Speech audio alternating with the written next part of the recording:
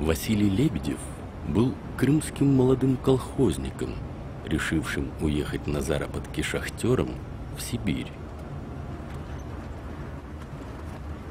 Его оппортунизм и абсолютное отсутствие угрызений совести позволили ему, пользуясь моментом финала перестройки, достаточно быстро занять кресло начальника одной из самых крупных теплоэлектростанций региона.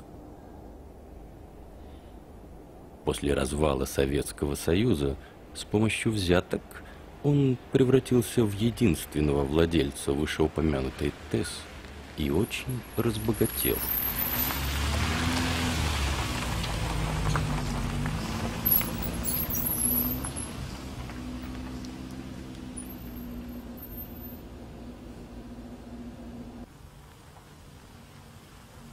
Интроверт по своей природе и страшный любитель парапсихологических наук, он неустанно путешествовал по миру в поисках следов инопланетян и в надежде отыскать врата в потусторонний мир.